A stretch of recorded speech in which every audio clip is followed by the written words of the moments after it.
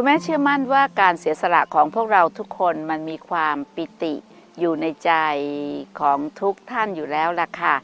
แต่ก็อดไม่ได้เลยที่จะมาขอบคุณอีกครั้งหนึ่งในฝ่ายของรัฐบาลนะคะที่มีกระทรวงทรัพยากรธรรมชาติ และสิ่งแวดล้อมที่ได้ส่งท่านผู้ช่วยปลัดกระทรวงมา เป็นประธานในการเปิดงานในวันปลูกต้นไม้แห่งชาติที่ผ่านมาค่ะ และเจ้าของพื้นที่นะคะก็คือข้าราชการกระทรวงมหาดไทยในจังหวัดเพชรบุรี ตั้งแต่ท่านผู้ว่าราชการจังหวัดนะคะปลัดจังหวัดในายอำเภอ และก็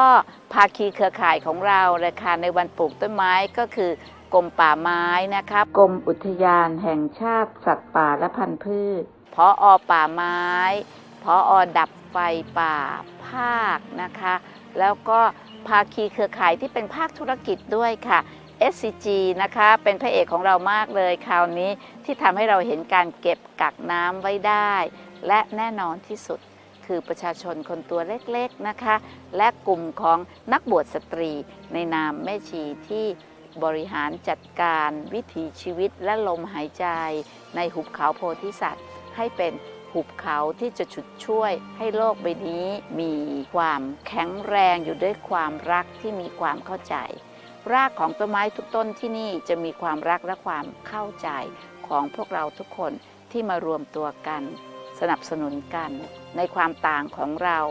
มันลงตัวได้ เพราะตัวตนเราเล็กงานเราจึงใหญ่ ใจประเสริฐ สงบเย็นแล้วต้องไม่ปฏิเสธการเป็นประโยชน์ร่วมกันนะคะ ขอซาบซึ้งและขอบพระคุณในความเสียสละของพวกเราทุกคนเลยค่ะ เสียสละตัวตน ตัวตนเล็ก งานใหญ่ใจประเสริฐสังคมดีขึ้นนะคะ ธรรมสวัสดีค่ะ